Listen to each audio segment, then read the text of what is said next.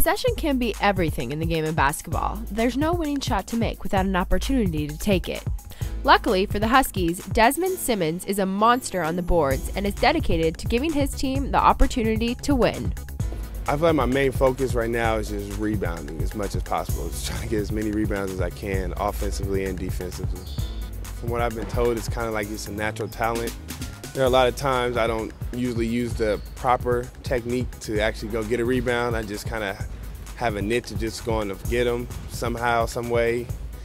And I can't really explain. People have asked me, like, you know, before, like, how do you get so many rebounds? And I honestly haven't found out how to explain it to somebody yet because a lot of it is just, I just find a way to get them.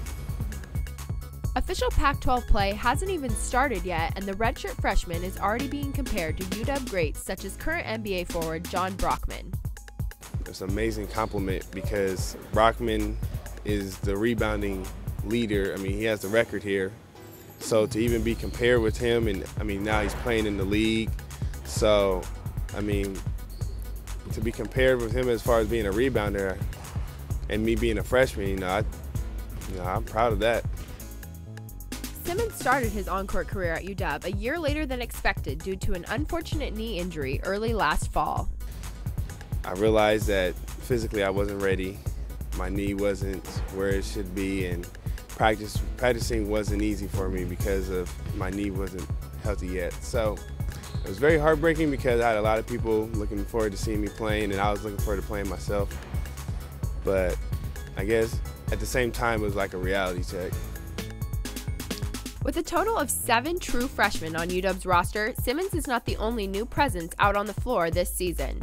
He seemed very pleased with the team's chemistry considering the young makeup of this group. I think we have pretty good team chemistry to have so many freshmen.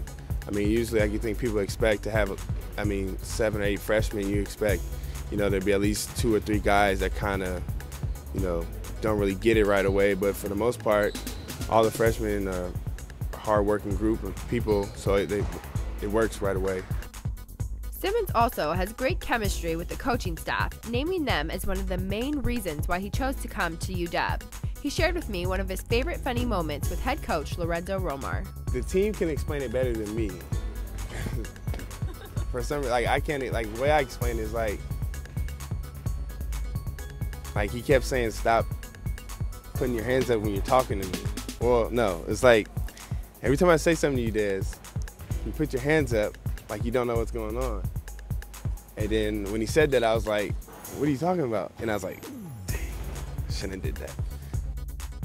Despite Romar's jokes, it's clear that Desmond Simmons does understand very well what's going on, especially when it comes to crashing the boards. Husky fans should expect nothing less than a relentless rebounder out of this 6'7 forward in upcoming play. Go Huskies.